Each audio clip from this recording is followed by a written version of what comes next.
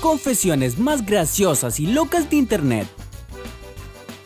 Hola a todos amigos de YouTube, el día de hoy vengo con ganas de salseo, por lo tanto les contaré las confesiones más graciosas y locas de internet. Aunque no lo crean hay personas ociosas que necesitan de alguna forma anónima decir sus secretos más vergonzosos e íntimos. También hay que tener un poquito de respeto, entonces estos datos confidenciales quedarán solo entre yo y unos cuantos de ustedes que vean este video. Será algo reservado, nadie más lo sabrá. Entonces acomódense en la silla, agárrense bien al piso porque mejor comenzamos. Estando de vacaciones con mi novio en Brasil, nos sentamos a comer en un restaurante. Pedimos una ensalada tropical y apareció el camarero con un bol con zanahorias enteras con sus hojas y un apio entero. Yo me comí las zanahorias y mi novio el apio con desgano por la simplicidad. En unos minutos nos trajeron la verdadera ensalada tropical. Nos habíamos comido el florero. Increíble amiga, te has ganado el trofeo de la idiota del día. Está bien ir a un país que no conoces, pero de ahí a comerte el florero creo que ya es mucho. Yo imagino al mesero mirándolos mientras se comían los adornos. Puede que haya estado muriendo de la risa, esperando a que se lo terminara para llevarles la verdadera ensalada. O ya directamente renunciando cagado del susto, advirtiendo que tienen dos caníbales vagabundos en el local. Cuando tenía 16 años me quedé encerrado en el lavadero que está en el jardín de mi casa y se rompió la cerradura. Estaba solo y mi vecina, una vieja de 70 años, en vez de venir a ayudarme, llamó a las noticias. Salí en la crónica del Mega tapándome la cara con una hawaiana.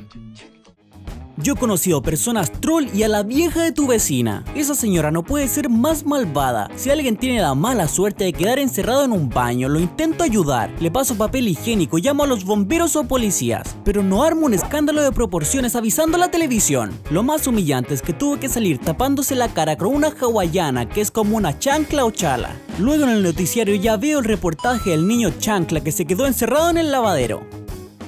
Advertencia, esta es muy asquerosa, recomiendo que no estés consumiendo ningún alimento. Tallarines de gatito. Esto me pasó el otro día. Iba con mi hijo de 6 años en el metro que estaba casi vacío. En el asiento del frente iba una señora durmiendo contra el vidrio y a su lado su hija con un gatito en brazos. La niña comía algo y le hacía cariño al gatito. Bueno, como niños, mi hijo y la niña empezaron a hablar y dejé de tomarles asunto, ya que estaba respondiendo unos WhatsApp del trabajo. Se fueron a los asientos vacíos del lado a jugar y yo los miraba de reojo. En eso mi hijo viene y me dice, mamá, esa niña está comiendo tallarines de gatito. Yo no entendía a qué se refería, hasta que vi que la niña sacaba del poto del gato unos gusanos blancos y se los llevaba a la boca.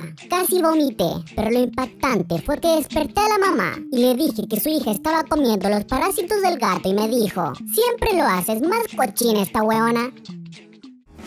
Por Dios, pero qué asco, si hasta me dieron ganas de vomitar. Debo admitir que yo hace un año ya había leído esta confesión y desde ese día estoy traumado. Les juro que para mí comer tallarines ya no es lo mismo. Cuando la comida me pasa por la garganta recuerdo esto y se me van las ganas de comer. Pobre niña si se estaba tragando los gusanos que salían del trasero de un gato. Pero el premio se lo lleva a la madre. Qué higiene ni mierdas. Ella alimenta a su hija con parásitos. Le pedí permiso a mi mamá para quedarme a dormir en la casa de mi novio por primera vez. Me respondió textualmente, te dejo ir solo si te arrodillas y me besas los pies. Al principio me reí pensando que estaba jodiendo. Tuve que hacerlo. Lo peor es que tenía olor a pata.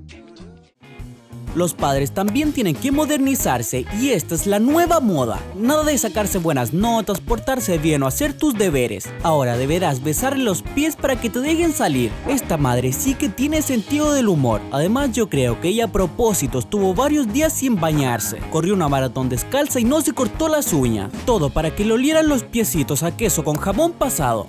En fin, si no quieres que te obligue a arrodillarte y besarme los pies sudados, puedes suscribirte al canal para ver más contenido. Si te pareció gracioso, te gustó el video, regálame tu like y compártelo con tus amigos. Yo soy Dogmas4 y nos vemos en la próxima.